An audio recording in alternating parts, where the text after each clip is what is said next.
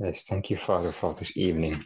Thank you that we have possibility again to come with the family, with the family of God, together, gathered in Jesus' name. And we know that our Lord is in the midst of us, even though we are situated and located in many different even cities, places, but in the spirit we, we are connected because the same spirit abides with us. And thank you, Father, that you speak to us this evening through your word, showing forth what we need to do, that your light, that your glory changes us from glory to glory, so that people will enter from darkness into your Son's kingdom. Thank you, Father, that you speak through different ways. We are all open to you, and we give all the glory to you because it is not any of us, it is our Lord working through us. Thank you, Father, that you work this evening and you get all the glory.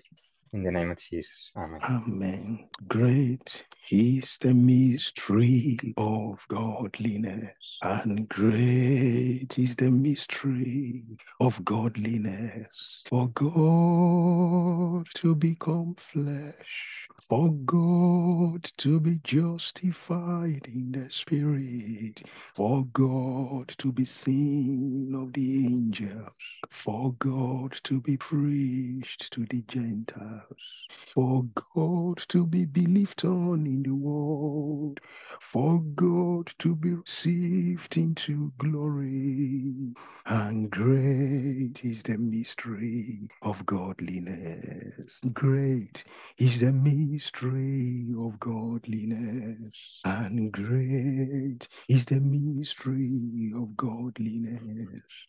For God to become flesh, for God to be justified in the spirit, for God to be seen of the angels, for God to be preached to the Gentiles, for God to be believed on in the world, for God to be received into glory, and great is the mystery of godliness. For the last time, great is the mystery of godliness. Oh, and great is the mystery of godliness.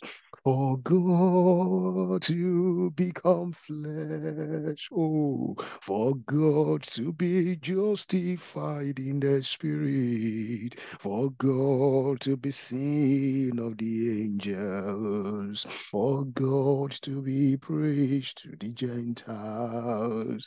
For God to be believed on in the world. For God to be received into glory. And great is the mystery of godliness. Amen. This song is from First Timothy chapter 3, verse 16. And there the Bible wrote, Paul the apostle was writing to Timothy and was writing to the church. And Paul said, and without controversy, great is the mystery of godliness. How do we understand that? It means this matter is a controversial matter. It is at the same time a great matter. It is at the same time a mystery. So that makes it very complex. A controversial, great, and mysterious issue. And if that is the case, what then is the matter? And Paul proceeded by listing six things that are controversial. As are 2,000 years ago, they are still controversial today, 2,000 years after. They were great 2,000 years ago. They are still great 2,000 years after. They were mysterious 2,000 years ago. They are still mysterious 2,000 years after. But the Holy Ghost can demystify the mystery. The Holy Ghost can bring us into its greatness. The Holy Ghost can take away the mist of controversy from that from that scripture. First Timothy chapter 3, verse 16. In fact, we were made to understand that this actually summarizes the whole Bible. If somebody tells you what's the summary of the Bible, it's First Timothy chapter 3, verse 16. If somebody says, Show me a verse that can encapsulate what is in Genesis up to Revelation, it is First Timothy chapter 3, verse 16. Not Genesis chapter 1, verse 1. In the beginning, God created the world and so what, right? But there was something that went wrong. There was something. All of the scripture is about God in a mechanic workshop trying to figure out what went wrong and how to fix this car, Adam and Eve. Is that not true? All through the Old Testament, it was a fixation of the broken down equipment. The equipment was God communicating with man, literally. Man hosting God. That was what God created at the beginning that was perfect. So much that God can visit man in the cool of the evening. But Satan came and destroyed that that that beautiful that beautiful setup, right? And God, who created man in his own image, suddenly became lonely. Where is man? When he came to the Garden of Eden, Adam, where are you? Right? it has become broken. The communication line has been severed. And God sent the prophets, God sent the kings, God sent the judges, how can I? In fact, God had to recruit a nation and produce a nation and say, This one will be my people. But they still went to idol. That's Israel. That's the whole of Genesis. That's the whole of Exodus. That was what he was trying to do. God was trying to fix the broken line of communication between us and himself. And then he tried up to the book of Malachi. It looks as if it was so tedious to fix. Men cannot fix men, even though men saw God face to face. They saw the glory of God like Moses was in the mount. Joshua, Samuel, God said, I will speak to him face to face. You know, all of the prophets, they saw the glory of God. Isaiah chapter 6, verse 1. In the year that King Uzziah died, Isaiah, I saw the Lord, right? In his glory. And his train filled the temple. And he fell. And God said, Who shall shall I send? He said, I will go, right? God kept on sending mechanics, human mechanics, to try to fix this broken down communication between us and himself. And that summarized the whole book of Old Testament, 39 books. And then he came to the New Testament and he introduced us with John the Baptist, who comes to introduce God himself. Okay, there's no need to try to fix the mechanics, the workshop. There's no need to try to fix the broken down car by somebody else who didn't produce the car. Is that not correct? There is no need to say, well, since you went to school, I think you have intelligence so that you can be able to fix this Mercedes car. Since you are not the manufacturer of the Mercedes car, it is natural to think that there are things that Mercedes has in the car that you cannot fix. Even though you have the basic knowledge of fixing every car, you need to be in the manufacturer's mind to know why this has to be here. Is that not correct? So God has seen Abraham could not fix, Noah could not fix, Moses could not fix the broken down system, Isaiah could not fix, Jeremiah, Ezekiel, all of them could not fix the broken down system. Elijah, Elisha. And so he decided to come himself. And he came from the manufacturer. God became flesh. That is the mystery. Is that not true? God became flesh. The, the manufacturer of the car visited your house and said, Don't you know I am the owner of the car? You say, Well, if you are the owner, then take care of it. God descended from heaven. John the Baptist introduced the manufacturer. And everything he came to do was to restore us back to factory setting. That is that is the meaning. He came to restore us to factory setting. He is the only one that knows where the reset button is. And so he came, thank God for the Holy Ghost. And so when he came, God from heaven that created man became flesh. He became flesh and he dwelt amongst us. And the disciples said, We beheld his glory as of the glory of the only begotten, full of grace and truth. And those were the implements by which he was repairing the communication system that was severe between God and man in the Garden of Eden. Truth and grace. By the instrumentality of the working of the Spirit of God that was brooding over the surface of the deep in Genesis chapter 1. That was why that was what Paul was summarizing here. That great is the mystery of godliness. God became flesh. It is mysterious, it is great, and it is controversial. Do you know many people believe a part of this story, but not all? For example, he needed to die to complete the fixing of this engine. He needed to shed his blood to be able to permanently seal the communication line so that we can have access to the throne of grace with boldness and ask for help at the time of need. His blood God need to prepare that way for us so that when we die, that number, thou heavenly Father, God says, I see you by the blood. Is that not true? It's just as if you want to dial an international number and then you quote the number, but you refuse to put the country code. You say, I don't care. Well, your number will not go. Hmm. You need the plus, whatever, plus one, plus two, plus four, nine, right? You need plus four, four if you're in the UK. You need those country code in addition to your private number to be able to ring across border. Earth and heaven is not on the same frame. There is a border. For you to be able to dial the heavenly number, there must be a heavenly code. That is the blood. That is the blood of Jesus. It needed to be shared. And that was when he when after he has emptied himself of everything, he said it is finished. And the Holy Ghost took that blood and took it to heaven and offered it before the Father. And the Father said, The communication line is fixed. Everything is fixed. Proud to that, when that Jesus came and he was born, when God became flesh, the angel left all their duties in heaven and they came to earth and hung in the sky and they were singing. All the angels, all of them, they were singing and worshiping. Why? Because they said they saw God for the first time. Here, the mystery of godliness in First Timothy chapter 3, verse 16 tells us. He said, God was seen of the angels. That's pillar number three. Pillar number two, God was justified in the spirit. And then all of these things was preached to the Gentiles. And that's where we are being. And this scripture is what we have been studying for two years now, and we have not finished it. We are still in the middle. God was preached to the Gentiles, understanding why God came to this world, why Jesus had to come and fix this severed communication line, how Jesus needed to shed his precious blood to become the heavenly code that we can die to enter into the into the throne of grace and ask for help at the time of need. All of these were made, were provided in this scripture as a mysterious thing. Do you know the major religion that runs parallel to Christianity is Islam? And Islam do believe, well, one prophet Jesus came, but actually he didn't die. Ah, if that is so, that means we do not have access to the Father. If his blood was not shed, we don't have the country code. We can't dial his number. And that's the reason they can't dial his number. So I was we were preaching some days ago, and one of them from a different country was speaking and he was saying, Well, if I if I miss it eventually, I think God is merciful. He should he should show me mercy.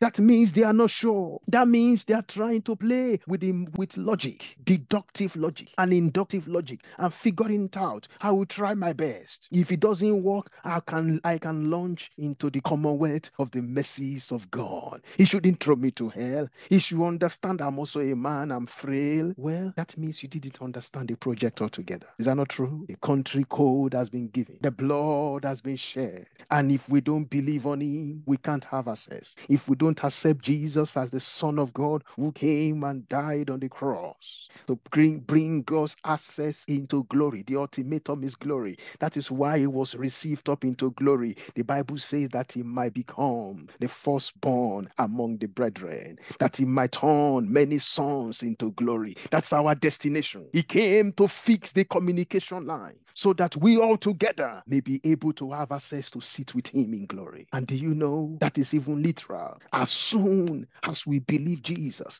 and accept him into our spirit and we become born again, we receive a new spirit. Is that not true?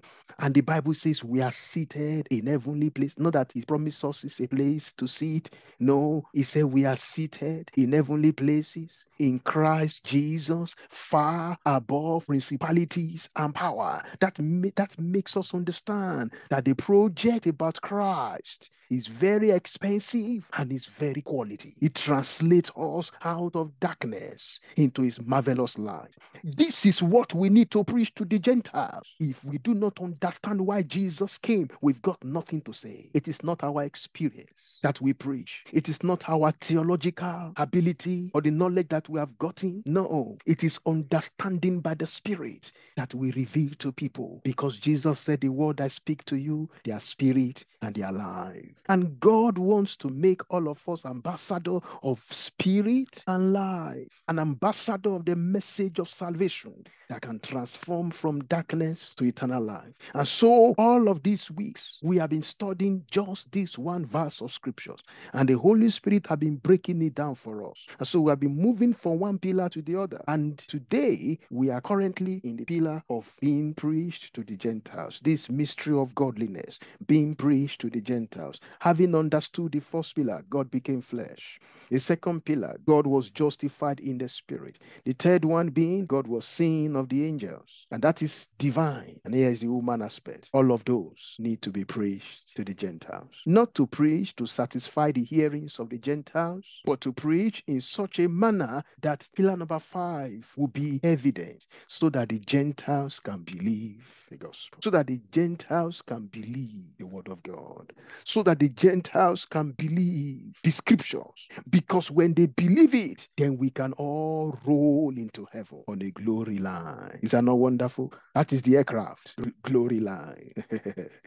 glory airways. Entering into heaven. Why? Because the gospel that changes life has been brought to us. And we that were sometimes afar off have been brought nigh. The middle wall of partition between us and God have been broken through Christ who died on the cross. We receive the gospel, we believe the gospel, and our night has turned into day. So, this period we're looking at how we can learn the skill of presenting his gospel to the Gentiles? What are the things we need to know how to do, how to say? What understanding do we need to have? How should we start preaching the gospel? Why should we need to preach the gospel? Is it necessary? Is there a reward for it? What are the things we are likely to encounter when we preach the gospel? What are the powers we are supposed to challenge when the gospel is preached? What are the results we are expected to have? What confrontation can the gospel bring? What contradiction can result from preaching the gospel. And how do we navigate through all of this? That's what we have been studying so far. And so before we go to a scripture today where we take an example of someone preaching the gospel, we like to have a recap of the things that the Holy Spirit taught us um, two weeks ago. So Akosua, should we start with you? Last week, um, sorry, last two weeks when the Holy Spirit opened up to us that how to preach the gospel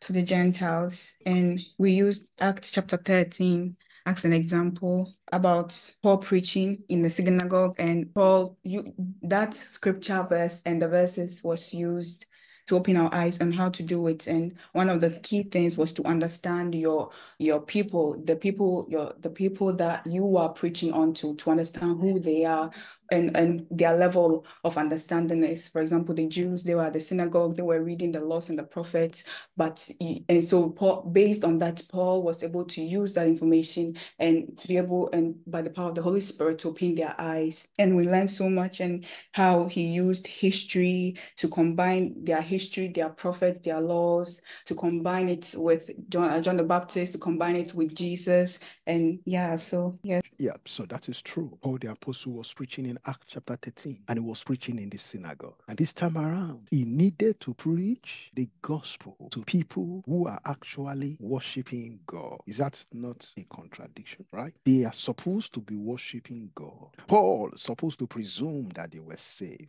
And so maybe he's supposed to encourage the brethren. Hmm, but Paul didn't give that assumption. Paul recognized that the gospel cannot be preached only with the Old Testament because it is a shadow for telling the substance. The substance is a person, Jesus Christ. Everything spoken about the person in the Old Testament is a shadow of things to come. And in presenting the gospel, we need to match the shadow with the substance. And that's why Judaism cannot say. He speaks so much about God the Father. He talks about what Moses said, a prophet like unto me shall God raise up. When he comes, you should listen to him. They talk about David, but David had seen corruption. He had been buried. Yet, Paul the apostle pulled something out of David. He said God left him a sure message. Israel like listening to that. But they don't understand what the sure message of David actually is. They do think because Solomon sinned and yet God kept two tribes for David because of his promise. So they assume that a king will always come out of the family line of David, but actually referring to the King of Kings. He said, Out of out of that tribe, the tribe of Judah, out of that tribe, Shiloh came, a king came. Is a sure message. And he talked about Paul was telling these people that it is that Jesus that God brought as a manufacturer to fix the broken line of communication between us and God. And while he was speaking, the religious men in the synagogue were angry. Why do you move out of the Old Testament? Why do you try to step your leg in the New Testament? We crucified him.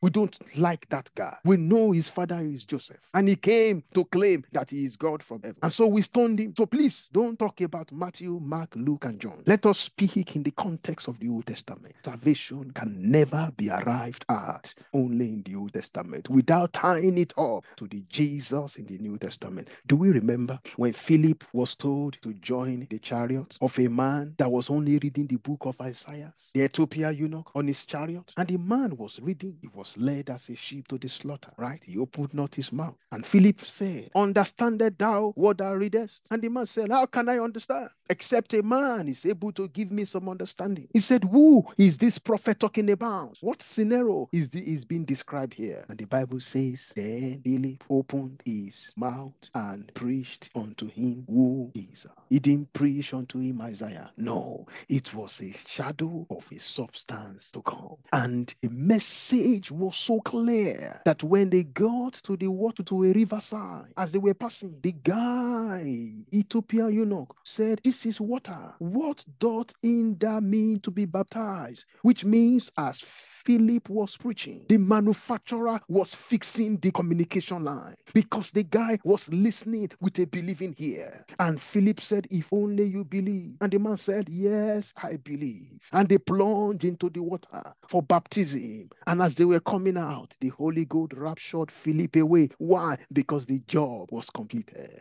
That man was now sitting in heavenly places in Christ Jesus. Why? He came from the shadows to the substance and he receive the joy of the Spirit of God. And a civilization of revival was brought about by that Ethiopian eunuch. That's why the substance must be connected to the shadow, which is the Old Testament. Johanna, you can add to that. Yeah, learned how, and Holy Spirit taught us how. Just like Akosua said that he connects those laws and prophets, how they were speaking about and reading to, and proceeded to Jesus. And he pointed out from the scripture how uh, the, the, man of God before whom God was well pleased with David, that this man cor- saw corruption, but this whom he's now preaching to them, this Jesus, God raised him from the dead. He didn't he did not see corruption. And everyone who believes in him can truly be justified from all things that could not be justified by the law of Moses. So they were still looking at David, looking at Moses, just these old people, but they couldn't, they weren't connected still. They didn't have the lighter connection. And only way for that was Jesus. And he introduced him to them. Yes. Thank you very much. So it's very interesting that today we have the same challenge that people are in churches and yet they don't know Jesus. It is still real. It is still a fact. People are in churches today. They go for the rituals. Now, this is Christmas season there will be so many churches opening their doors for religiosity. People coming and then showing, oh, we was born by a virgin. In fact, they will act drama, right? They will show Jesus and Mary carrying one tiny creature. Mm-hmm. well, that is all about it. The power of the manufacturer to come and liberate completely from the hand of sin is not evident. Why? Because the gospel has not been preached in its nature. The gospel has not been preached in its essence. And if it's not preached in that capacity, we should not expect the power of life transformation. And today, in our generation, we need the gospel to be preached to sinners. We also need the gospel to be preached in the church to people who are practically occupying pulpits, including priests and pastors and bishops. Why? Because they've not experienced the power of the gospel. And that's why many people are spilling out different kind of religiosity, different kind of religious statements, different kinds of abominable words. Why? Because they themselves are not free from sin. For example, we are aware that one of the largest denominations in quote of Christianity, which is the Catholic Church, headed by the Pope, recently announced that the church, the Catholic Church, can now officially marry gays together. What do you think is the problem? Great is the mystery of godliness, not mystery of iniquity. That rule, that legislation is a mystery of iniquity from the house of God. It is a mystery of iniquity. Why? Because it defiles the cross. Because it's a slap on the manufacturer who came from heaven to fix the communication line that had been severed by Adam and Eve. God wants to host us. He wants us, us to host him. And an unholy atmosphere cannot host God. Such kind of legislation will never allow God to enter into the temple. People will be there, but God will not be there. Do we understand? And so we are compelled within us to break into such cycles and reveal to them the mystery of godliness. It will make us controversial. It will make people to speak against us. It will make people to misunderstand us. They will call us names and they will say a lot of things. Why? Why? Because men love darkness more than light. But does that mean we need to keep quiet? No. We are saddled with the responsibility to declare the whole counsel of God if by any means we can save some. So we preach to the sinners outside. We preach to the Buddhists. We preach to the Muslims. We preach to the atheists. We also preach to Christian religious groups. We preach to the cult groups, the Mormons, the Church of Latter day Saints. We preach to the Jehovah's Witnesses because they are witnessing something they don't even have an experience of. We preach, we preach to the Gentiles so that they can understand and glory can enter into them because Christ in us, the hope of glory. That's what Paul was doing here in Acts chapter 13. He was proving to the people in the synagogue that there is a Christ different from this religion. And they were not happy, they were mad. The Jews were offended. The Jews decided to begin to split the multitude. They began to raise an uproar. But where? the Bible says Paul the apostle continued and preached to a point that some Gentiles actually believed. And that was Antioch. But interesting thing is that Christ believers were first called Christians were in Antioch. It doesn't matter the persecution. Stay and declare the whole counsel of God. It will work. It's just a matter of time. The opposition will be there. That's why Paul said, Great is the mystery of godliness. The opposition will be there. The contradiction will be there. Men will rise up and speak against this truth. Do not worry. Keep on speaking, for some will still be saved. So today we look at Acts chapter 14 and we'll look at a story of how Paul the apostle proceeded from what happened in chapter 13. And so let's read Acts chapter 14 and let's read from verse 1 to verse 7. Acts chapter 14, verse 1 to 7. Akosua, can you help us read 1 to 3 and then um, Johanna help us read 4 to 7. Chapter 14, verses 1 to 3. I read Now at Iconium, they entered together into the Jewish synagogue and spoke in such a way that a great number of both Jews and Greeks believed. But the unbelieving Jews stirred up the Gentiles and poisoned their minds against their brothers. So they remained for a long time, speaking boldly of, for the Lord, who bore witness to the word of his grace, granting signs and wonders to be done by their hands. The multitude of the city was divided, and part held with the Jews and part with the apostles. And when there was an assault made both of the Gentiles and also of the Jews with their rulers to use them despitefully and to stone them, they were aware of it and fled unto Lystra and Derbe, cities of Lysa, Lycaonia, and unto the region that lied round about, and there they preached the gospel. Thank you very much. Do you see the controversy the gospel begin to stir when the gospel is only? Why would the gospel raise a lot of controversy? Because the gospel is the only ticket. The gospel is the only ticket for the only truth, to the only way, to the only life, The only ticket. And Satan knows it that whosoever receives this gospel will lose the path to hell and gain the path to God. Whosoever loses the path to hell will become an ambassador of that gospel and can wreak havoc in the kingdom of darkness. And so Satan does not want one more opposition, right? For that reason, he resists with all of his power, using men, institutions, authority, civilization to resist the gospel, to pull the gospel away from human reasoning pull the gospel away from the school. We don't pray again in the school. We remove the gospel from everything. We say, well, we're in a secular world. We want to accommodate everybody. Mm. Those are the workings of Satan at the background because he knows the tremendous power inherent in the gospel. That's why Paul said in Romans chapter 1 For I am not ashamed of the gospel of Christ, for it is the power of God unto what? Salvation to the Jews first and also to the Greek. Who is afraid of power? We have a lighting system now because there is power sustaining that. If the power is withdrawn, the bulb or the fluorescent lamp is still in your room, but it cannot shine by itself. It needs to depend on a feedback.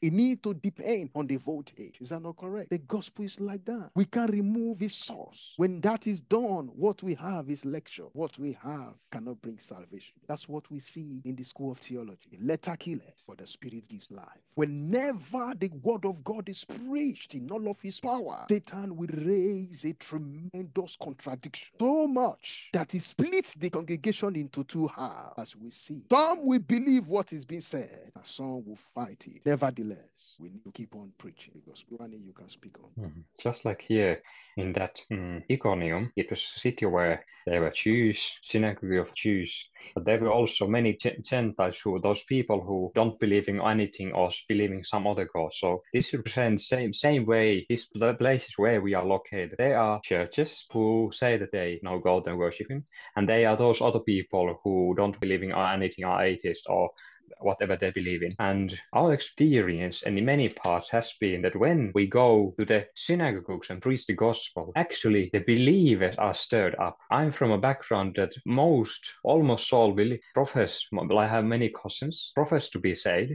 but when God changed my life, and I started to tell them about the life, of the how life is transformed by the power of God, how Scripture is alive, how we, how how you love read Scripture, how prayer is so magnificent and mighty. You want to dwell in it, spend time with Holy Spirit. The people were stirred up. The same people who profess that they know God, who who say that He is their Lord, ru- ruler, now started to contradict those things that were said and glorifying the the, the ruler. They say that is ruling them, and specifically in even those times when just like in verse 3 it was that say that they speak boldly in the lord which gave testimony under the word of his grace so when we speak the gospel it's not that we um, we ourselves approve the gospel what we say but god is approving and showing by power that is this is true gospel because god, kingdom of god is not in meat and drink it is joy righteousness peace and holy ghost. It's not in enticing words of human wisdom. It's the power showing of power and the spirit. So when the real gospel is there there is power evident lives are being transformed.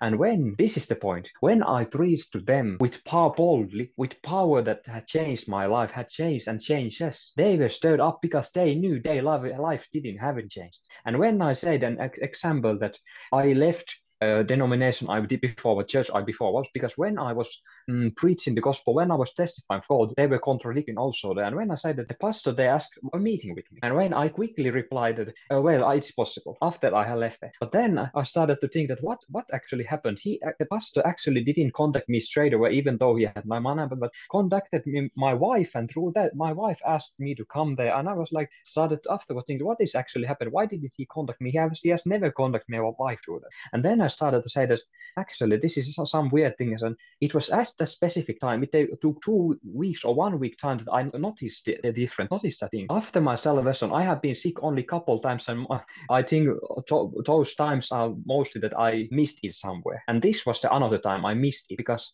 I straight away said that yeah I will come. By the way, I was sick at that time. Then I uh, I was guided. Hey, I need to ch- change, adjust this thing. I didn't do it straight away. I continued sick. But when I said, hey, actually, yes, this is wrong. I I repent. I align myself according to the word of God. I informed the pastor, and in that moment, actually, when I repented, I made the decision. I was healed from the in that instant. I told the pastor, by the way, that God, I cannot come. God guided me this way, and by the way, I have this sickness for this time. When I obeyed the Lord, I was healed in an instant. Do you know what that ruler, that so-called pastor shepherd of Rice answered? With I sent him a message in WhatsApp. That pastor sent emoji with crying face. Doesn't sound very loving that God is doing His work. God is the no miracle. And The pastor says, "Oh no, how can you?" No, and when I testified with the same thing to those cousins I have sh- who should have been saved, some people answered angrily, What are you meaning? Do you mean that if you don't obey, obey God, that you will be sick? And, and there was like this kind of fuss and like rage coming up. I was, I just pulled my uh, say away from that. But this is the, not just in far history, but even today. Just the same day when we were speaking to uh, not Buddhist man, but the Islam man, we met also a woman who professed to and actually was part of the biggest denomination in this country. When we started to share the gospel to woman, the woman started to tell, but well, you can, it's pretty, it's, you are, if you confess in that way that you are actually saved, you are proud. And I always said, like, what are you saying? Don't you know that the Bible says, let the redeemed of the Lord say so? And the let the uh, Holy Spirit witnesses with our spirit that we are children of God. Actually, then the woman was quiet, but still contradicting this and this and this and saying, it's the Jews, the people who haven't experienced the power, they have gone whole their life to synagogue, just professing rituals and things. And because they are so near but still so far, because their heart is callous, their heart is far, far removed from God, they don't want their heart to be changed by the power of God. That's why when power is introduced, power is shown that it said that you can experience the power. They are offended. But don't you mean that we are saved already? Don't you mean that we have experienced it? At the same time, they are living in sin that they are not enjoying the presence of God. So this was Paul experienced. It's the very same today because the gospel is same today and the power to prove it is same today. That's why we preach. Because if the power has changed your life, you expect the power to change somebody else's life. And it is true, it does change lives. And when you preach the true gospel, God is under obligation to prove that the gospel still works. We don't do the proving, the Holy Ghost does the proving. If truly what we are saying is the truth, it will cut people's hearts, change lives, it will restore backsliders, it will reinvigorate those who are spiritually weak and revive their heart cause them to enter into a life of blazing fire and God will be glorified. The evidence of the preached gospel. That is why we preach, because it works. And we are going to share a few things if the Holy Ghost permit. Akosua, give us some thoughts from this passage or what is coming to your mind or any questions you have. Nothing much, but I'm just thinking about how Jesus had already warned us about how they the world hate him because he speaks the truth, and that because of that, we, he, they will also hate us because their fathers already did it to the prophets, did it to him, and now they are also doing it to us. So that's just what came into my mind. Yeah, I, I, uh, I'm really enjoying what is going on. Uh, I just want to buttress what you've been saying, the most of the brethren in here. The, uh, remember the Cornelius story? I think it's uh, Cornelius in, I think that's in Acts 10 or 11. Acts chapter 10. yes. Acts chapter 10, yeah. So even though we knew he was a devout man, he gave alms to He prayed several times. Uh, by his acts alone, he was righteous. You know, but that that was not enough to save him. With all of that, salvation was still. He didn't have salvation still. You know, so uh, this only um, it only buttresses what you what you've been saying. That we, we just don't preach to uh, other religions. We also preach even amongst the Christians, the um, the denominations. There's a whole lot that needs to be demystified by the uh, by the uh, by the mystery of, of the Holy Spirit. You know, I just wanted to chip in that. It is very important that we that we do the work that we are doing, ambassador of Christ. Thank you so much for this opportunity. Thank you very much. That's that is excellent. That is true. Cornelius represents the Gentile world and a man that actually was so devout. In fact, do you know that Cornelius' level of righteousness at that time supersedes the level of righteousness today in any local church? Because he was a man that fasts and prays every time. in so much that it is during the process of his fasting and prayer that an angel appeared unto him. But you know, angels may refer to you, somebody who will speak to you, the word of this life, for the angels are not permitted to preach the gospel. Do you know that? Peter wrote to us. He said, These things the angels desire to look into it. That's the privilege we have. We are custodians of the gospel to preach what angels can't preach. Angels were sent. An angel was sent to Cornelius to refer him to Peter. Go and call Peter. He's living in the house of Tanner, far away in Joppa. And Cornelius called one of his devoted soldiers and said, Go and do this job for me. We not sit down until until we get Peter here. And of course, when Peter came, the gospel was demonstrated. While he was preaching his long sermon, the Holy Ghost came down, right? And these, and these Gentiles were saved. It is by the same token that we preach today to see result. Why is our society saturated with so many denominations? It's as dark as it used to be when the entire civilization was worshiping idol. Why? It is because the denomination does not translate to righteousness. There is a missing link. If every church, local churches, if every local church has this tremendous transformation from the priest to the members, if there is this transformation in everybody's life, Bible says we are the salt of the earth, right? We are supposed to be the light of the world. So people will go to church on Sunday, and on Monday they will forge receipts, and on Monday they will manipulate the business, and on, Mon- and on Monday they will steal and pay fair, and they will take bribe. Where is now the righteousness? Where is the power to live a godly life? Are we just going and dance now in Christmas and give God praise and give thanks? Is that all? There is much more than that. Character transformation, a change in the heart. That's what Giovanni was giving an example. His cousins, oh, I believe in God, I believe in God. But the day God changed Giovanni's life, he began to present the gospel that has changed his life. And suddenly, people who were supposed to say, Thank God, this is what has happened to us, they began to trust us. they began to say, No, this is too hard. Oh, you will weary yourself out of this. but they didn't know that that is the line God wanted to fix that broken line of conversation between himself and us so that we can host him. Hence, the scripture tells us much later our body, the temple of the Holy Ghost. When your body is the temple of the Holy Ghost, that means you are practically carrying the Holy Ghost everywhere you go. That means you don't need to travel and buy a, a, a direct ticket to Jerusalem to go and listen to God by the wailing wall. You don't need that. God is a spirit.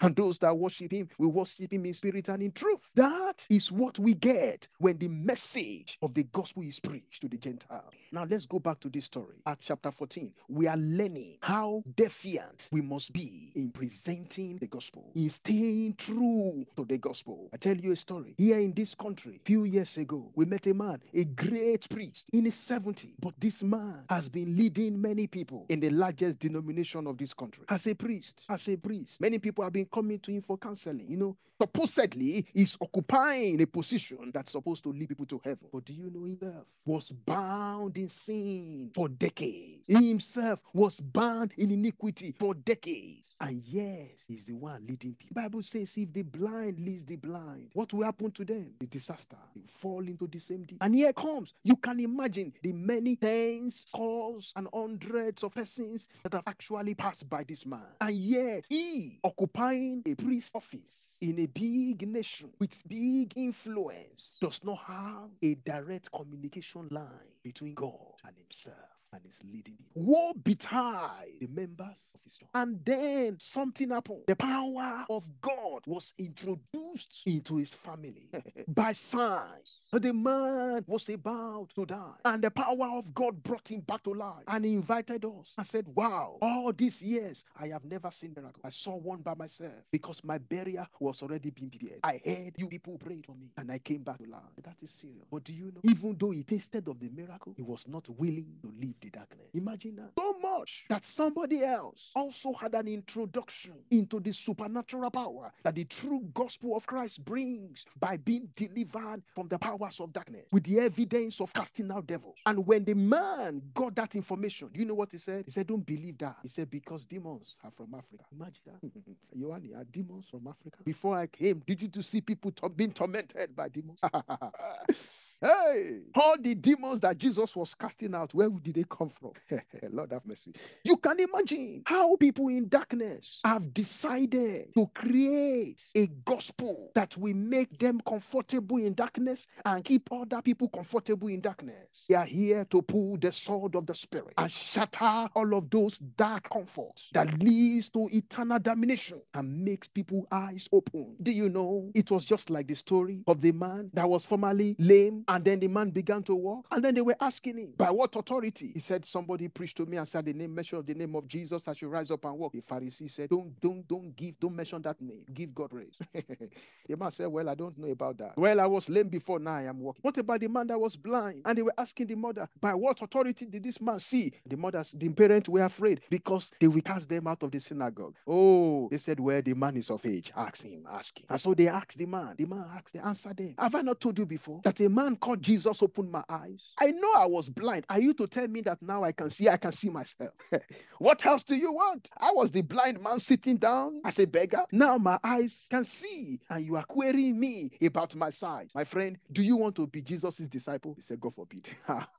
What happens? The man who has tasted of the power of the world to come presents the gospel in his own way. He had no theology just just encountering the power that removed blindness he presented that gospel to the Pharisees and they revolted. They were cut to their heart. That's what happened. Today, there are many pastors and priests who are in sin, who are busy manipulating their church members, who are busy collecting seed and tithe and seed and offering, and then without giving them the word of life, because they themselves don't have it, they are still bound to pornography, they are still bound to alcohol, they are still bound to cigarette, they are still bound to every iniquity, fornication, adultery, they are still bound, they are still bound to spiritism they still consult oracle. They still go into the spirit world to look for power. And yet they still mention Jesus. How will God manifest himself in such an assembly? That's why we preach not only to sinners, but also to people that claim that they are saved. Do not carry the about or carry the away with statistics. Oh, there are 200 million Christians in this place. My friend, it's not true. Abraham prayed for 10 righteous people. God saw three and a half. That is always a statistic. That is, it has not changed. Jesus said, when the Son of Man comes back, will he find faith on earth? Will he? Will he find faith? That's why we are compelled to preach if we have experienced this thing and if we have not fully entered into this experience. Tonight is yet another night. When the door of salvation is open, you can plunge into it and you will see the mighty arm of our Savior pulling you out of the dungeon of sin into his marvelous light. And the power of resurrection will enter into your spirit and you will realize oh, all bondages of addiction is broken and you can walk out free for the first time. For you shall know the truth and the truth will set you free. You and you can speak. Yes, continuing from this chapter 14 where we have read and from the stories you just mentioned from John chapter 9, where the blind man who has been blind his whole life now was preaching the gospel as he as he knew it has experienced it to the Jews, to the rulers. When when we read from verse 9, verse 1 from chapter 14, it was said that um, they went both together in the synagogue of Jews and so spake. What is this so speaking? Well, the chapter, uh, verse 3 is telling us, long time therefore about they speaking boldly in the Lord. When we have experienced the gospel, our speak changes. It is so, uh, and so spake they. They spake boldly. There's such a boldness in the speech. Just like this blind man. Blind man is not very bold. Blind man cannot be bold because if, if, if he tries to off if he offends even to other people when he's going by his sticks and he offers someone the person just can trip the person and he's onto his face that he has no defense he cannot be bold or he will suffer great but when this man had experienced power, he was so bold. His parents were saying that uh, they were afraid and said that just as the man, as the man, he's of age, because they were fearing that they will be put out of the synagogue. But this bold man, now, now before blind man, now bold man, priest, that do you, why are you asking me again? That man, that blind man was uh, facing, opposing the whole sentence, all those rulers there who had been through their whole, not just three years bachelor's degree, not just master's degree, not just PhD of theology, their whole life from childhood, every day scripture, scripture, scripture. This blind man challenges the whole council and said, Why are you asking me again? Do you want to be his disciples? That boldness is evidence that you have heard the gospel. That boldness is what happens to us. It's stirring by the whole Holy Spirit within us. Just like when Stephanos was taken in front of whole country of and he was preaching from Abraham and on, onward and concluding that end was so glorious. His face was shining the whole time. That end, as he was saying that that you, you were given the law by the angel, dispensation of it, and you have not kept it. Boldness is an effect of true gospel that is in you, what you have received. And when that boldness is shown forward, people are astonished. People, just like Andrew was mentioning the story of this old man who was priest, big, big priest in the denomination. It is impossible for that man to have boldness because he has seen when Adam had sinned, he didn't have any boldness to go before God because he knew he had just the leaves, fig leaves around him. He's not in the glory realm. But when we are completely pure and clean and filled with the Holy Spirit, His glory is indwelling us all around. We can go before people and declare to their face that you have crucified the Lord of glory. By wicked hands you have done it. And they will be cut to their heart because they see. Actually, when if we speak the gospel like, hey, uh, sorry, I would like like you to hear that God is pretty good. I, I think so. The people you are listening to, they don't believe. They say that poor man, this is man isn't even believing what he's saying himself. He's just being brainwashed, and he's part of some religion, and he just needs to do and share these things. But when you are so bold that the foundations of the people they are believing or is shaken by just you speaking so boldly by the Spirit of God, that is what we have given, not because our strength, not because our ability, but because of the Spirit of God. He makes us bold. Yes. Very much. You know, just to add to what Ioane was saying, one day I met two young men from the US who came to Finland as missionaries of the Mormon group, the Church of Latter day Saints, in the cold weather. And they were in with their with their jacket and everything and their badge and their regalia. And they tried to begin to preach to me. And they were trying to preach to me Jesus. And I know this one is not correct because the message was not resonating with this with the with the temple of the Holy Ghost. And then I listened to a point and I began to ask them a few questions. And I began to ask them a few questions. And the questions appeared to be deflating all their theology. And they were finding it difficult to answer the question. And it's about the Christ they have just told me about. So if really you know him, you should be able to know some things about him. Is that not correct? How dare you preach somebody you don't know? And it got to a point when they could not survive. They opened their bag and brought out their weapons. They brought out their, their booklet, their Mormon book and everything. They said, let's read this together. I said, no, you don't need this help. if you know Jesus, it doesn't you don't need to go and verify something. You don't need to find a way where you are going to answer one question. And then I began to preach to them them about salvation. I say, my friend, you might be ignorantly following this thing that you came all the way from America to come and preach to Finnish people. You might not know that you're on the wrong direction. But traveling the wrong direction for 70 years does not make it right. But you can make it right today because meeting me is your opportunity to enter into the civilization of righteousness. Oh, when they saw that, that instead of them preaching, I am not the one preaching, they grab one another and ran away. I tell you the truth. So they chose to remain in darkness. Why? Because when you have the gospel, you are bold. When you have the gospel, it is not you that is bold. The Holy Ghost in you. He has all of this power to convict the word of righteousness, of sin, and of judgment. He is the one. It's only that he has to speak through your mouth. That's why you have to be pure. That's why you have to be ready at all times. That's why, you know, sometimes even when we are not even sure that what we are saying actually makes sense. Maybe like like you know, few few few weeks ago, we're speaking to someone in the US and in, in, in a large scientific conference. It doesn't look as if such a person was going to give his life to Jesus. So there was no need to even pursue that. But just to introduce that, well, we belong to God and we can't do anything about God, you know. And I said, Well, oh, thank you. Nice talking with you. Bye bye. The young man said, No, can you pray for me? I said, I should pray for you. Are you sure? He said, Yes. I said, That means you want to give your life to Jesus? He said, Yes. I said, Well, we can do it now. People were passing up and down, and the young man began to pray right there, and he gave his life to Jesus. And few days later, he sent a testimony. He said, Thank God. I opened the door to God in my life, and that prayer worked because something has changed. That is it. We don't know what we carry. Now you are in your place of work. How many people have you introduced the gospel to?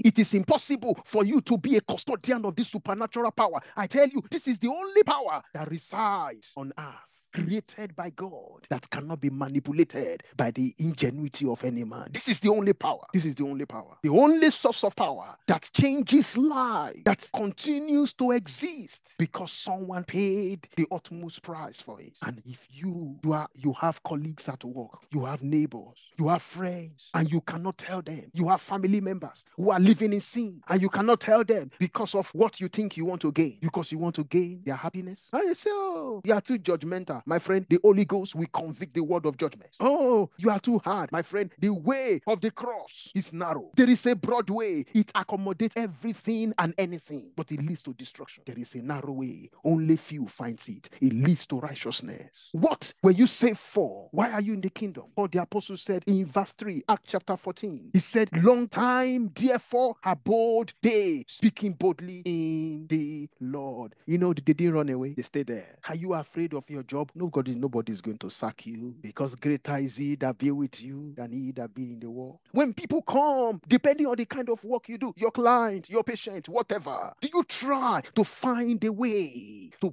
to bring them to the reality of the glory that you have inside of you? Do you know it will be a disaster?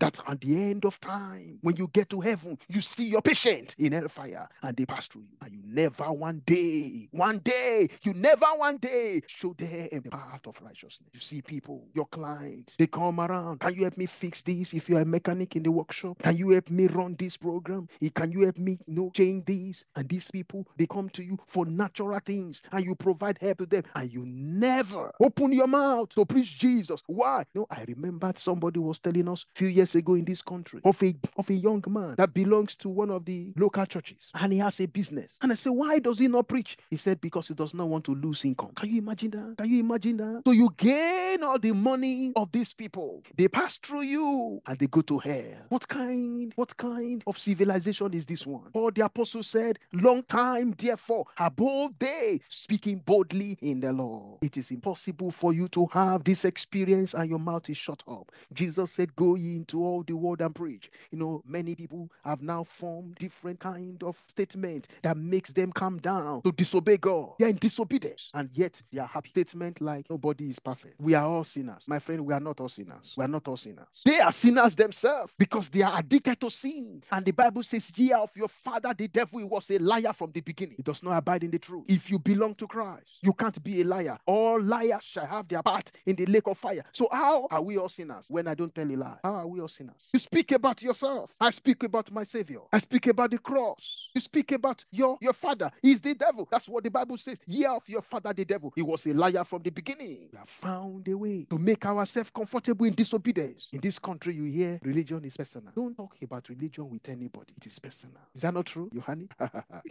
Religion is personal. My friend, religion is not personal. Because the same person, if he's driving his car and his car breaks down, he will call you for help. Why is his car not personal? Why is his problem not personal? If his house is on fire, does he call for help? Why is it not personal? Meanwhile, there is a greater fire that is burning. It is the fire of eternal damnation. The Bible says hell enlargeth itself. We don't know if the enlargement of hellfire, because hellfire is down below, if the enlargement of hellfire is responsible for all of this volcanic eruption and earthquake everywhere. We don't know. But hell is enlarging itself, and people are running down into hell. And yet you say they should not call for help. What is the meaning of that? If they don't know there is help, you tell them there is help. Don't keep quiet. Don't keep quiet. And God has helped us to do that. And we are seeing many attorney, many attorney, many attorney in different nations turning from darkness to light. And they say, I never know. I never know. There was a man we met, a doctor, a big doctor here in this country. And as we were, as we began to speak about the message of life, he was shocked. How where do we come from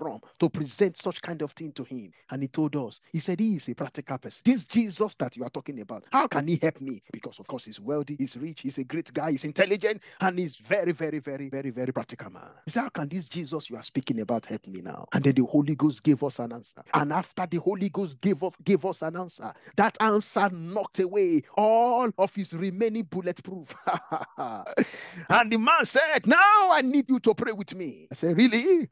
said, Yes, so let's pray. And he gave his life to Jesus. As soon as we said amen, he began to laugh uncontrollably, unprovoked. The joy of the Lord filled his heart. That is the experience. What if we have not gone? What if we also settled in our comfortable armchair of spiritual disobedience by saying, Well, if I just live my life as a Christian, people will see me the way I live my life, and then they will become a Christian. You are a liar.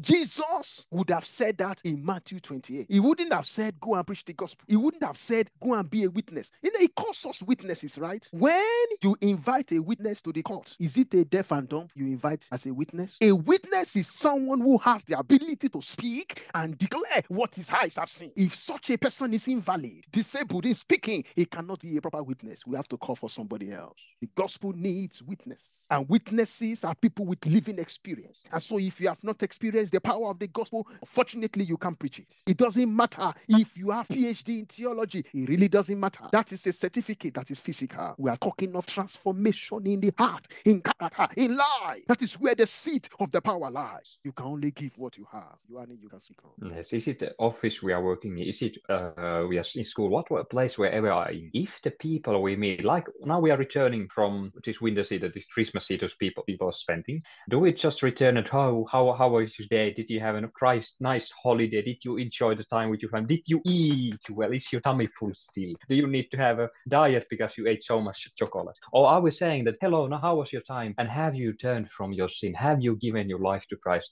That what we speak about, it always just like just Christ and repentance just comes in. Because if we speak truly saying, if we speak like that, if we met people again, just like after this holiday, they are greeting us, hello, hello, how are you doing? How was your holiday? We're saying, yes, yes, fine, thank you. How was you? And have you repented from your sin? Have you changed from path that goes to destruction to hell to path of eternity? Eh, if they see that we are so serious with this thing, it's much easier for them to believe because if just like Holy Spirit speaks through our mouth. If we don't open our mouth and declare, declare the truth to them, how can they believe?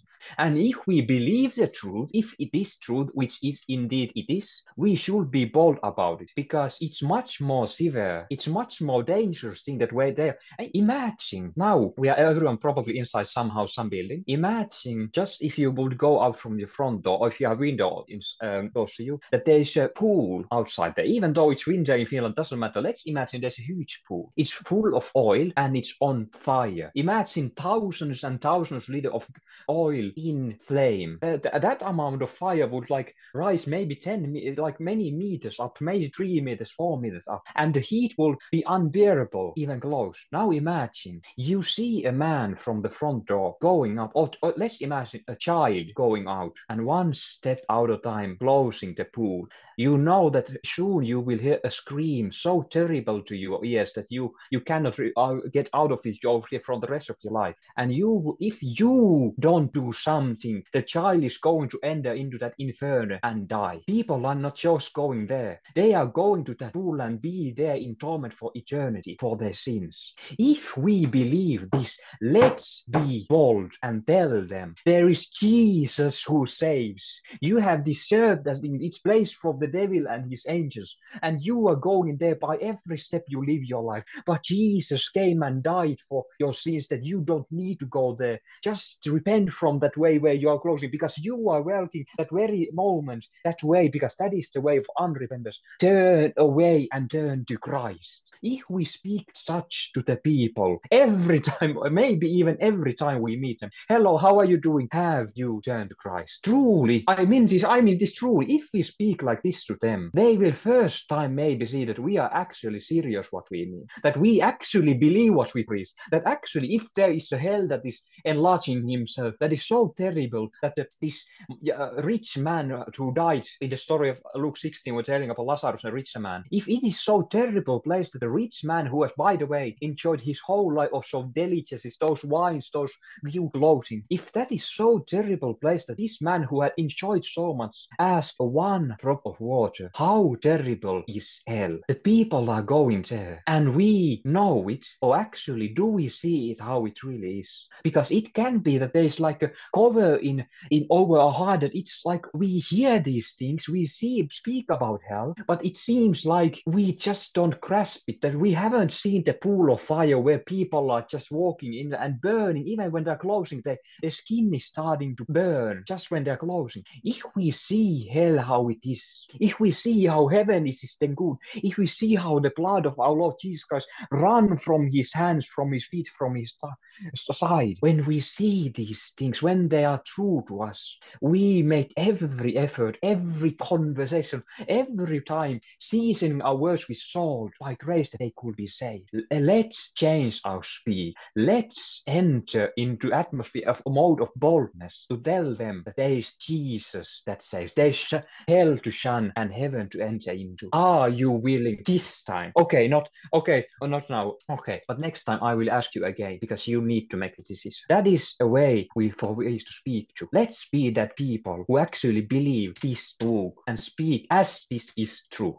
Mm, Yes, Amen. Glory be. Back at that's at chapter 40. There is a line there, verse 3, in the later part of it. Look at what he says. He said that after the disciples stayed where they needed to stay to declare the word of God boldly, he said something. He said they spoke boldly in the Lord. They didn't speak boldly boldly in their degree. They didn't speak boldly in their everything they've acquired in the flesh. They died. You know what the apostle said, I'm a Pharisee of Pharisee. I studied under Gamaliel. I'm from the tribe of Benjamin. You know, he has the citizenship of Israel as well as the Roman citizen. He didn't speak on the behalf of all of those physical accumulations. Those were not his basis for preaching and declaring the whole counsel of God. So his boldness was only in the Lord. So our boldness is not in our ability to speak or we have nice linguistics, we have nice words, we have a way of making people laugh. None of those things. We, do, we are not bold in those. Those are things that can be learned physically. There are people who are even much, much better than us in all of those things. But there is only one thing to be bold about. The righteous are as bold as a lion. Why? Because their boldness is in the Lord. And the reason why they are bold in the Lord is because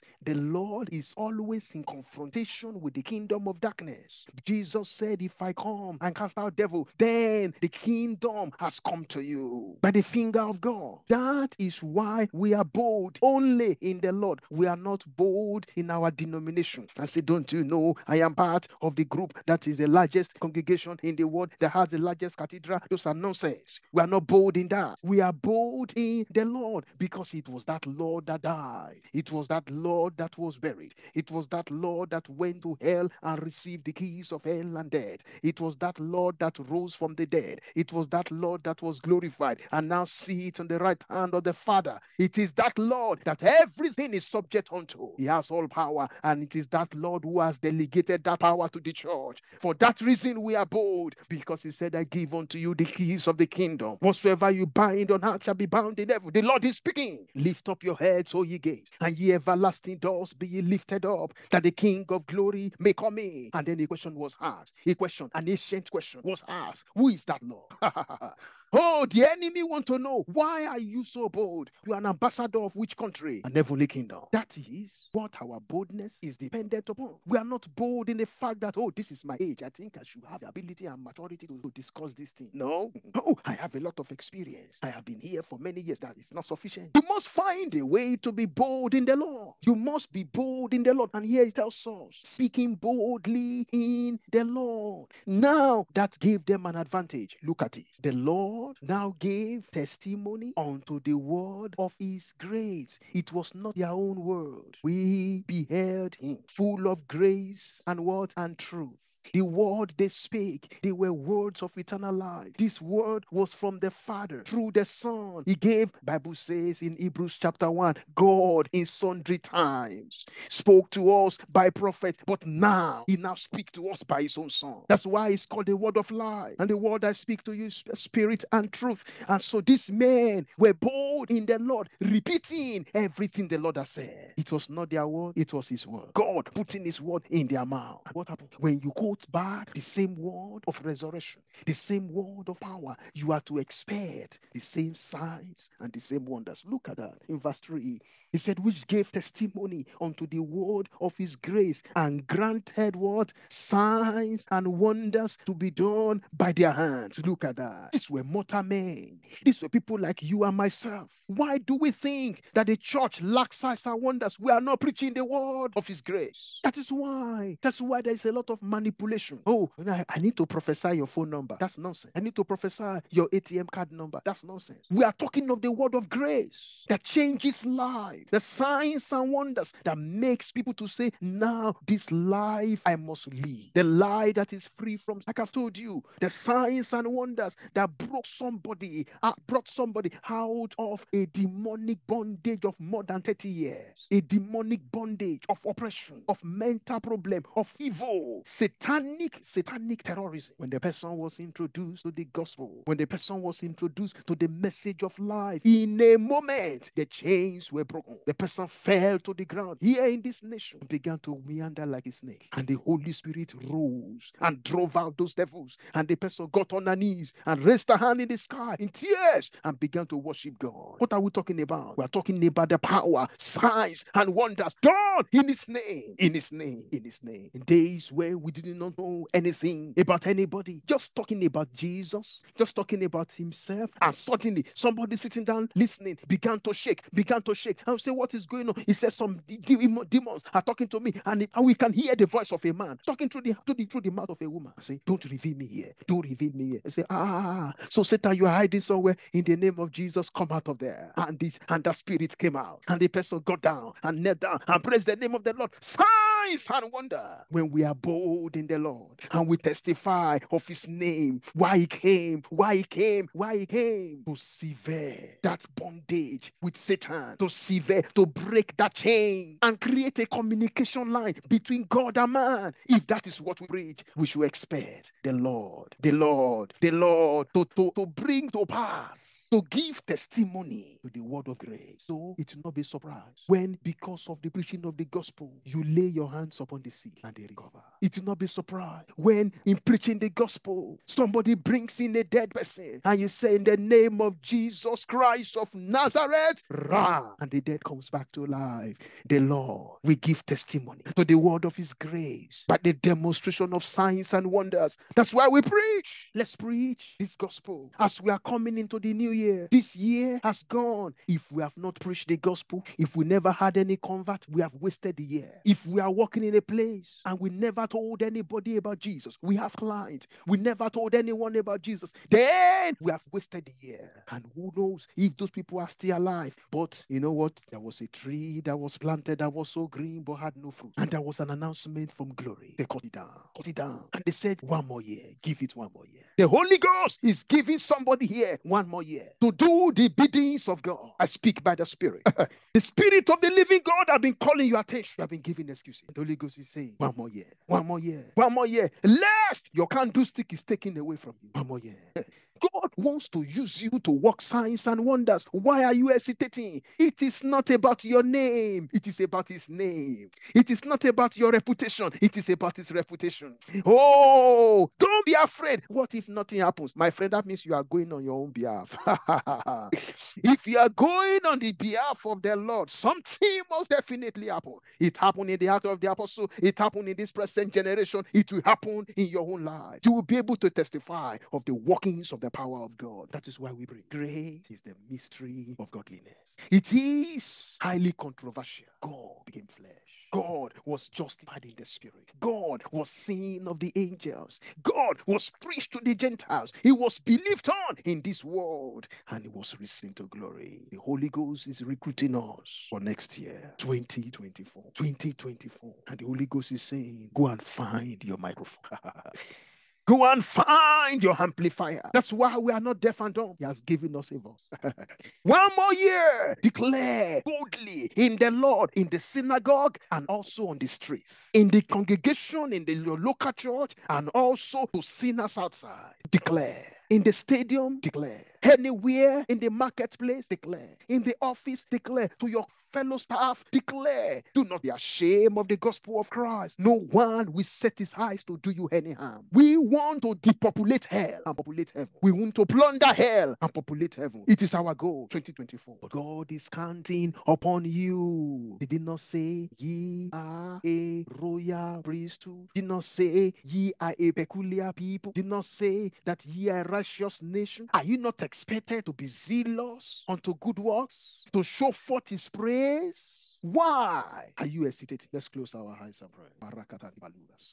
Word of God has come to us. Lift up your voice anywhere you are.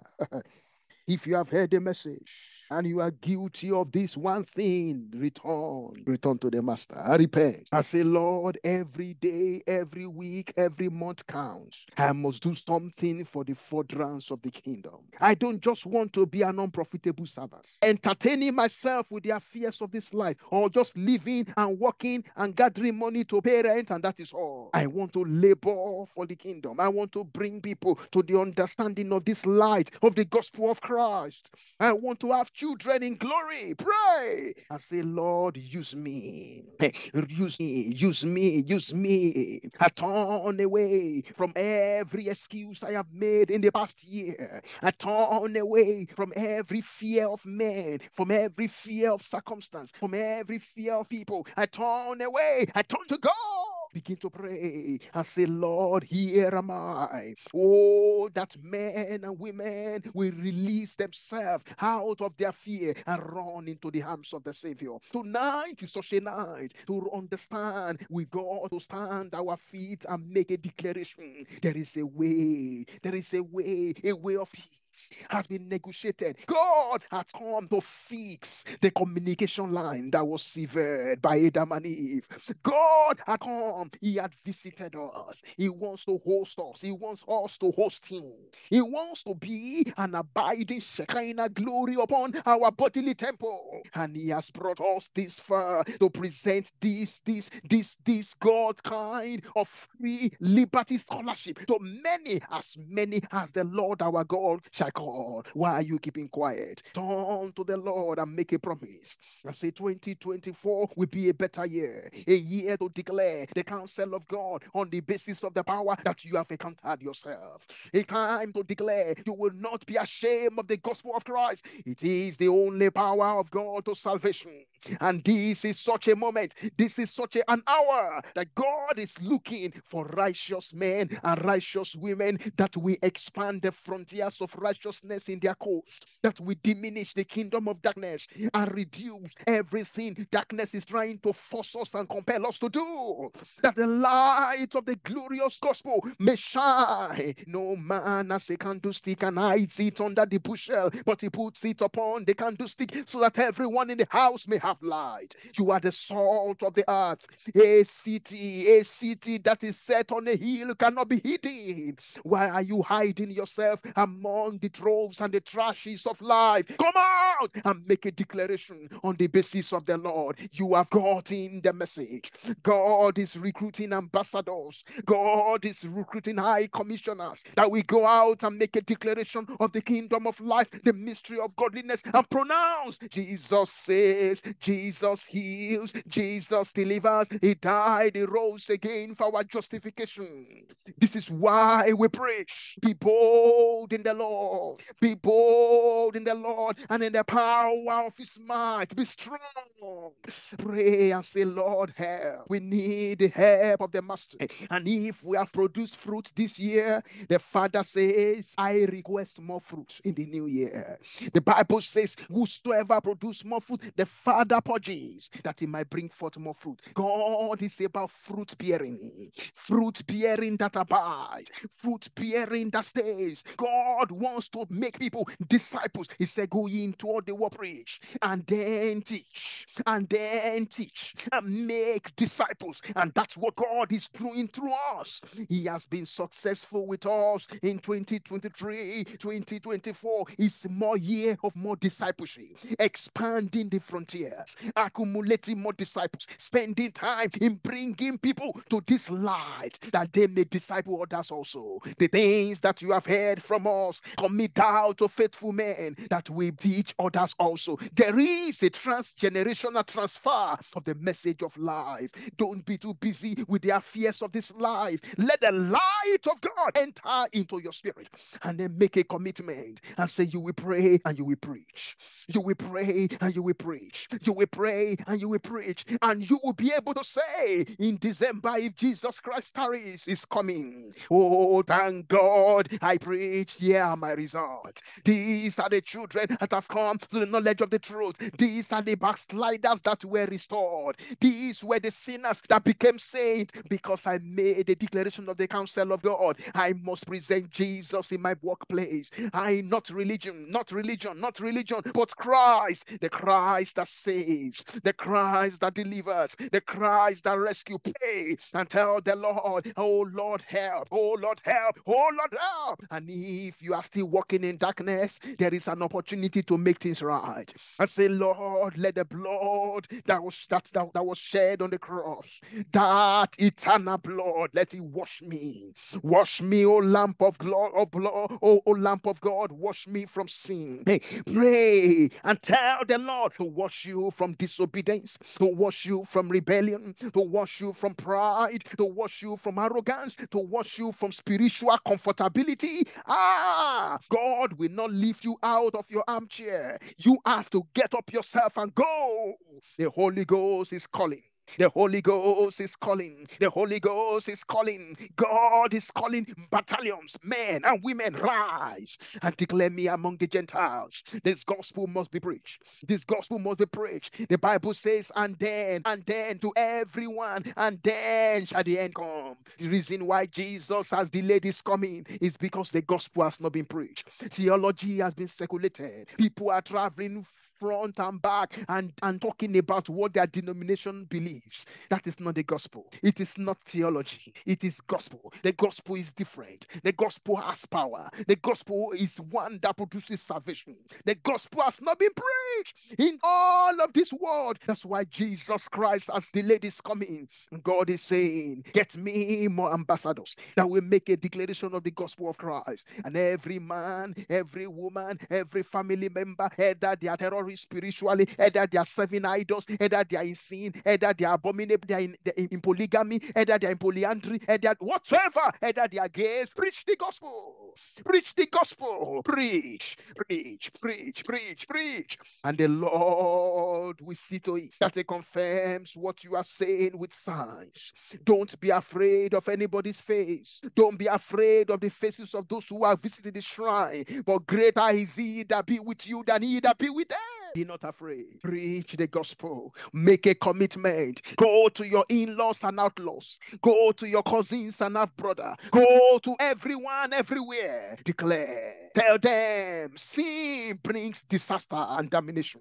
There is a hell to shun. There is an heaven to gain. There is a savior to call upon. Preach, preach, preach, preach. Do not live to please men. Live to please God. Live to please God. Live to please God. Live to please God. God is calling you. Come out of the civilization of spiritual lethargy. Come out of the civilization of spiritual lukewarmness. Jesus said, You think that you are you think that you are alive because you have riches, you have money, you have you have influence. He said, No, I reckon that you are dead. He said, Come out, come out from among them and be ye separate, says the Lord, and touch no unclean thing, and I will be a father unto you. He said, Return back to your first work. He said, Repent, lest I come and take away your candlestick from you. Jesus Christ is expecting us to produce fruit. He wants to be, he wants us to be proof producer.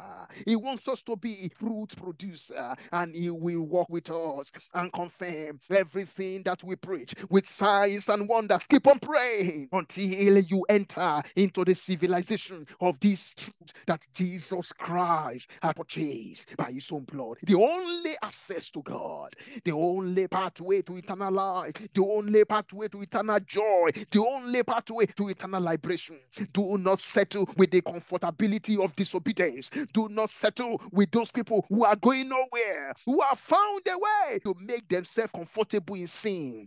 God hates sin, no matter how little, no matter how small. God hates iniquity, and his eyes cannot behold any iniquity. Turn out of every form of sin and iniquity, break out of every bondage, bondage to social media that waste your time, bondage to all the affairs of this life that waste your time, bondage to all the pride of life, the lust of the eyes, and do something for the kingdom. Pray and preach, pray and preach, pray and preach. The Holy Ghost is calling. God is recruiting men and women in Africa, in Asia, in Europe, everywhere, everywhere, in Australia, in Oceania. God is recruiting people and He's saying, Come, come, come, and declare the whole counsel of God. It is to the will of God that we can turn many sons to glory. And the Bible says, as many as turn many to righteousness, they shall shine as the brightness of the stars forever.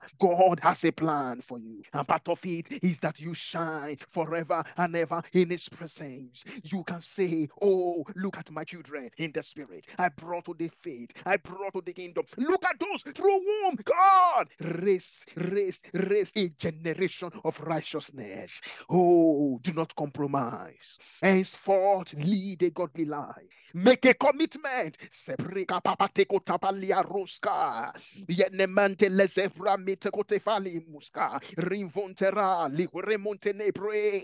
In the spirit and the Holy Ghost will break every barrier, every barrier, every fear of man will be broken from your from your from your heart. The Holy Ghost will break, we break, we break every intimidation, every fear of the righteous path, everything that makes you to make a decision and you don't follow through on it, to serve the Lord and yet you decline. Everything that is standing as an opposition to you declaring the counsel of God, begin to address those things. Is it a background? Is it because some something happened to you from your childhood and that thing has it become a nemesis to your life? Today you can receive deliverance, but because God is compelled to prove to you that when you preach the gospel, there will be signs and wonders. If anyone here is in bondage, is in any form of affliction as a result of the vicissitudes of life, I come to announce to you the freedom that Jesus Christ brings. He brings deliverance, He brings liberation, and right where you are, the power of the Almighty God will touch you, and the yokes will be broken, and you'll be liberated. You will come out of that control, that control, that control that the enemy has tried to prepare for you, suffocating you in the night, giving you some mental torture, and makes you to be a shadow of yourself, and your belief system is always compromised. God will repair, we repair, we repair. That's why He came. He came as the manufacturer to fix everything that is broken down, everything broken down in your mind, everything broken down about you, everything broken down in your psychology, everything broken down in your mental capacity, everything broken down as a result of loss, as a result of, of torment, as a result of wickedness, as a result of evil introduced to you years ago. Anything that have been broken down, the gospel can repair it. The power of the gospel can fix it. The power of the gospel can fix it. You can't fix it yourself. You can't fix it yourself. The manufacturer will do the job. The manufacturer will do the job. Your customization has to be because you have met the Lord. Do not put your trust on the things that you have accumulated as a result of your exposure, as a result of what you try to do by yourself. There is a greater dimension.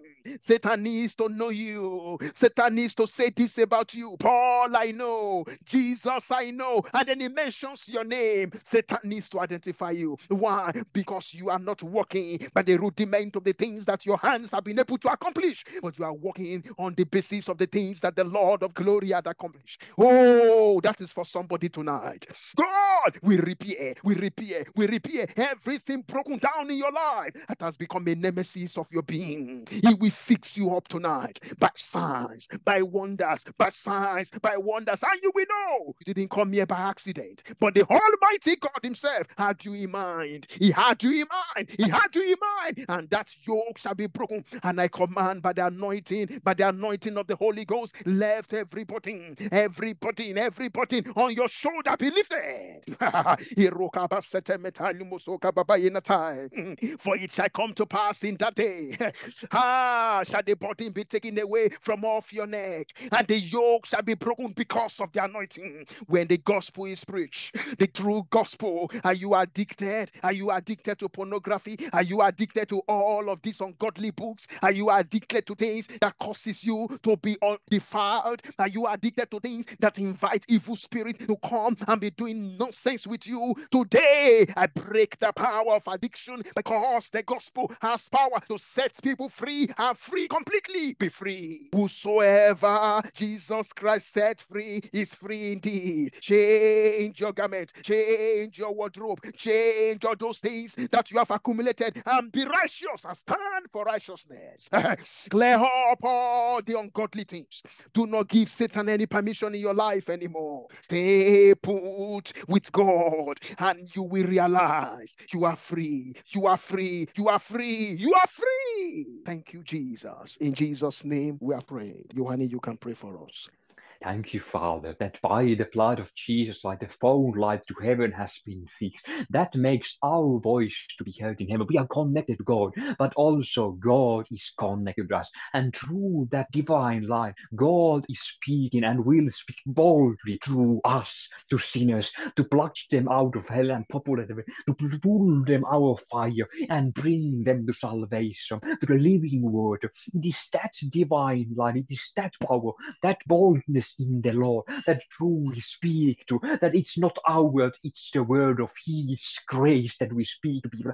Then that word of God shall cut asunder, dividing even soul and spirit, and discerning his thoughts and purposes of the heart. And so shall the people enter into kingdom, because the sword shall cut even through their own heart. It is the sword of the Spirit. Lord, you have spoken us through your word that they were bold, spoke boldly in the Lord, in the Lord. And so we speak boldly in the Lord. We don't care what people think. We won't care what people answer. We won't care if we lose our reputation because it's not our reputation to lose. Everything is laid upon Jesus. If there's a victory, it's because of Jesus. If there is a frontal, like if there's some anything or other things, that is for Jesus. All the glory and all the shame goes to Jesus. But our position is to open our mouth wide so he can fill it. It's our position to speak boldly in the Lord. And it's his mission to confirm and give testimony of the word of his grace. Thank you, Lord. As we prayed at the beginning, that you speak to us, you boldly declare your counsel to us, so that we do your biddings and souls are saved. Indeed, you did. And we give glory to you because you did by your Spirit, Holy Spirit, wonderful joy. We give you praise. Thank you, Lord God. God. Amen. Amen. In the name of Jesus, we pray.